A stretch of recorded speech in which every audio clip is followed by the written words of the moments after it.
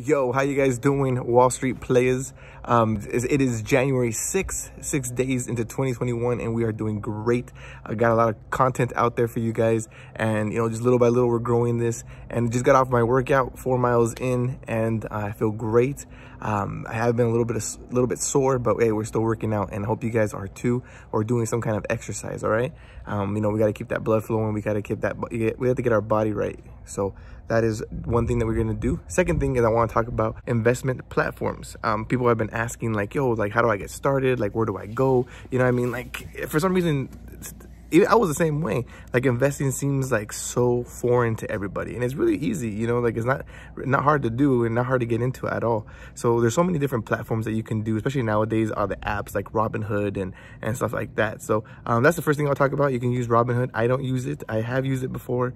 Um, just pretty basic um, app. I'm not really gonna talk about it because I haven't used it in a while, so I don't even know how it looks like now. I don't know what the options are. So if you want to look into Robinhood, you could look into that. Um, TD Ameritrade is something that I've, I've looked into, but I feel like that's for a little bit more for um, more skilled uh, traders, I guess you can say. It, like there's more options, like limit orders and stop orders and all that stuff. So if you're, if you know, I think that's if, when you get a little bit more into stocks. Like I'm barely getting into like TD Ameritrade um, but there is a lot more options on TD Ameritrade. There's a lot more like stocks on there, and there's also like different ways of like they have charts and um, you know I mean all like all the analytics to the different uh, stocks and stuff like that. So that's really good about it.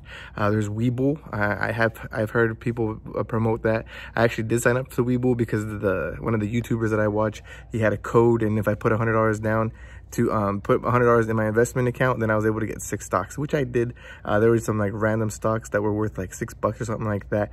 But, you know, uh, I didn't really pay attention to the stock for a little bit and then they actually went up. So I ended up uh, having like 40 bucks, but I took that money out to invest into something that I really wanted, something I did want to invest, not in just some random stock. So that was pretty cool. Um, I never used a hundred to do anything. I just pulled all that money out and I put it into my, um, my actual account that I have. Um, the main one that I use, I've been using Square Cash for a long time for like money transactions to pay people or to, to get paid on uh, different businesses that I've been doing. So I've had Square Cash for a while and then they started doing the investment stuff. So I thought that was pretty cool too. Um, so I use that. It's really easy to use, super easy platform. Um, the problem is that not everything's on there. Your basic stocks are on there, you know what I mean? Like the Apple and the Tesla and the um, Google and like, you know, the most of the stocks are on there you know you, you do have a couple stocks that aren't on there and unfortunately you can't really do your homework on there because it doesn't have um, any graphs or anything like that yet i'm sure they're going to get into that um, so what I usually do is I go to TD Ameritrade. I look at the stocks, like whatever, like the uh, whatever one I want to look into. Like for example, Apple. So I look up Apple. I see all the fundamentals, all the um, graphs, all the numbers, and all that stuff of the stock. And if I want to invest, and I go back to Square Cash and I invest that way something else I like about Square Cash is I get my money like instantaneously. Like I'll, I'll invest and it goes right in, and then when I take the money out, it comes right out.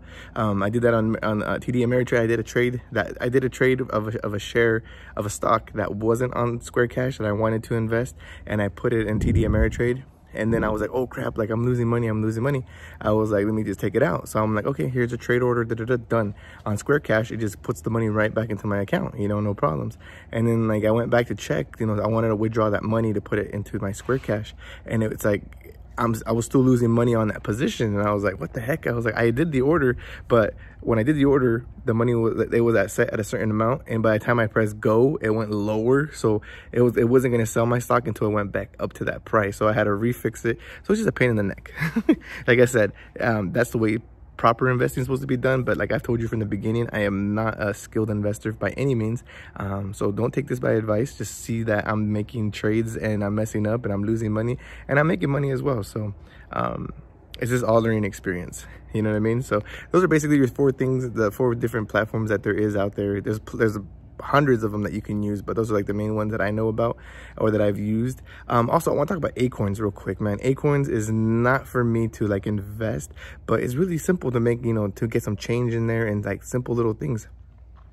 So I, I, connect my, my Acorns to my card. Every time I make a purchase, it rounds up everything and it invests in that, that money into, um, to one of the funds that they have. I've talked about this before and I'm already like at 15 bucks and I've only been doing it for like a week or so, you know what I mean? So it's like, holy crap, like that's really cool. And also there's a few, there's a, they have like 300 plus different, um, businesses on there like Fiverr or like, um, like the, the, the logo that I did, I did it on Fiverr, but I did it through Acorns. So if you do it through Acorns, you get five bucks invested into your Acorns account by Fiverr if you use Fiverr. You know what I mean? So it was like pretty cool. So I, I so that I got five bucks from there. Um, what else did I use? Oh Truebill. I use Truebill to um to organize all my you know all my um expenses and, and, and deduction um my expenses and income stuff like that. And they gave me five bucks as well. I did that all through Acorns and uh and I went to Chevron the other day filled up my gas tank and they put just because I use Chevron my card that's a link to Acorns I use that at Chevron and they automatically invested in my account too. So um yeah it's nickel and diamond here and there but can you imagine like you know 10 20 years from now you'll have a couple thousand bucks in there you know what I mean so you can't go wrong with that that. Um, and that's basically it. So those are the platforms. If you guys want me to like look into any other platforms and talk about it, let me know. But that's basically it for today. Stay motivated, keep learning, um, and I'll see you guys tomorrow. I'm out. Peace.